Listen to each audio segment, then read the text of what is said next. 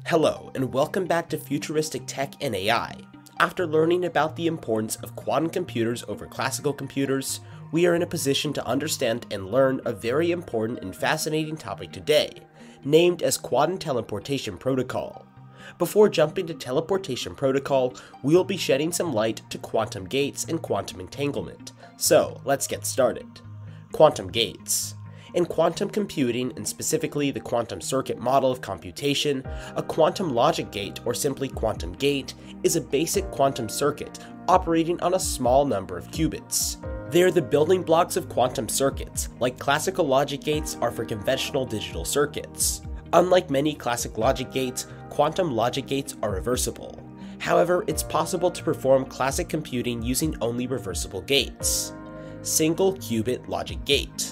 Unlike the gates in the classical domain, the quantum gates also work on single or multiple qubits for processing.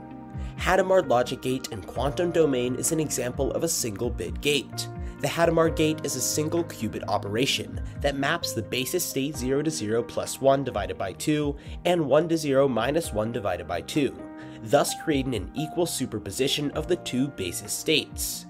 2 qubit logic gate. The CNOT gate is an example of two qubit operation, where the first qubit is usually referred to as the control qubit, and the second qubit as the target qubit or controlled qubit. Expressed in basis states, the CNOT gate leaves the control qubit unchanged and performs a Pauli-X gate on the target qubit when the control qubit is in state 1. Leaves the target qubit unchanged when the control qubit is in state 0. Pauli-X basically is NOT gate. Quantum entanglement. Quantum entanglement is a property of a set of subatomic particles, whereby a quantum characteristic of one of the particles is directly and immediately correlated with the equivalent characteristic of the others, regardless of separation in space. To understand entanglement, Schrödinger used a teaching tool, Schrödinger cat, to illustrate how some people were misinterpreting quantum mechanics. In Schrödinger's imaginary experiment, you place a cat in a box with a tiny bit of radioactive substance. When the radioactive substance decays, it triggers a Geiger counter, which causes a poison or explosion to be released that kills the cat. Now, the decay of the radioactive substance is governed by the laws of quantum mechanics. This means that the atom starts in a combined state of going to decay and not going to decay. If we apply the observer driven idea to this case, there's no conscious observer present. Everything is in a sealed box, so the whole system stays as a combination of the two possibilities. The cat ends up both dead and alive at the same time. Because the existence of a cat that is both dead and alive at the same time is absurd and does not happen in the real world, this thought experiment shows that the wave function collapses are not just driven by conscious observers. Quantum teleportation the technique which is used to transfer the information from one source, sender, to another source, receiver, quantum mechanically is called quantum teleportation. It's the concept that enables us to distribute quantum entanglement over large distances, and allowing to build quantum communication channel on such a large scale, also to build quantum network on a global scale. To see how this works, let's go through the basic formalism.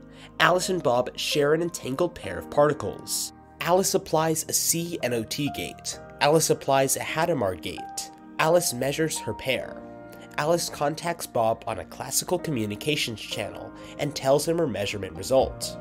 Bob measures using a measurement operator. So, using this protocol, it's been proved that an unknown state from Alice is transferred to Bob. Teleportation quantum mechanical circuit in detail. This piece of work here is that Alice wishes to use the teleportation protocol to send an unknown state to Bob. The unknown state is a qubit. Alice interacts the qubit psi with her half of the EPR pair and then measures the two qubits in her possession, obtaining one of the four possible classical results 00, 01, 10, and 11.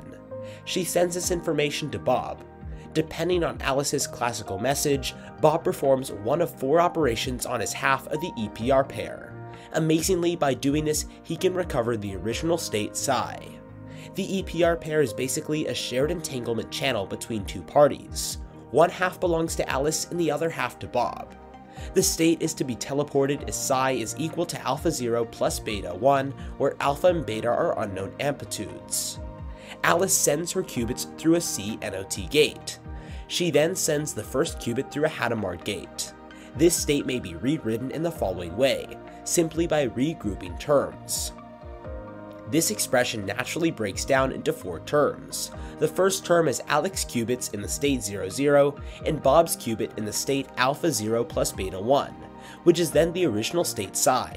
If Alice performs a measurement and obtains the result 00, then Bob's system will be in the state psi. Similarly, from the previous expression, we can read off Bob's post-measurement state, given the result of Alice's measurement. Depending on Alice's measurement outcome, Bob's qubit will end up in one of these four possible states. Of course, to know which state it's in, Bob must be told the result of Alice's measurement. We'll show later that this is in fact which prevents teleportation from being used to transmit information faster than light. Once Bob has learned the measurement outcome, Bob can fix up his state, recovering psi by applying the appropriate quantum gate. For example, in the case where the measurement yields 00, 0, Bob doesn't need to do anything. If the measurement is 0, 01, then Bob can fix up his state by applying the X gate. If the measurement is 10, then Bob can fix up his state by applying the Z gate. If the measurement is 11, then Bob can fix up his state by applying first an X and then a Z gate. Summing up, Bob needs to apply the transformation Z measurement and X measurement, Note how time goes from left to right in circuit diagrams, but in matrix products terms on the right happen first, to his qubit, and then he will recover the state psi.